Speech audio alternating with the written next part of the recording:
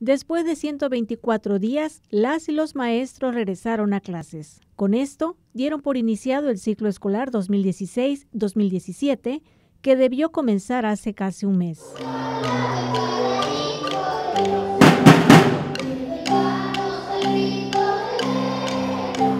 Las prisas por llegar puntuales a la escuela fueron la constante de este primer día de clases. Estoy muy emocionada, la verdad. Sí, ya estoy acostumbrado y estoy bien ansioso por ir a la escuela porque, porque está mi, una mi amiguita Jimena.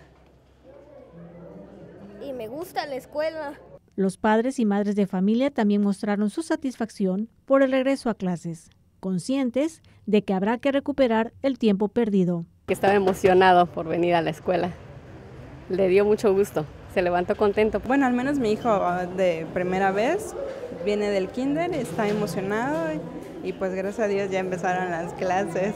Aquí de lo que se trata es que se pongan al corriente después de haber tenido tantos días este, sin su educación, pero yo creo que aquí nosotros vamos a jugar un papel importante como papás para poder ayudar a los maestros a regularizarlos después de todos estos días de, descanso. Algunas escuelas en la capital del estado pospusieron el inicio del ciclo escolar hasta este martes porque el lunes lo dedicaron a inscribir a los estudiantes. En las imágenes, Basilio Casillas, Claudia Cantón Chiu, 10 Noticias.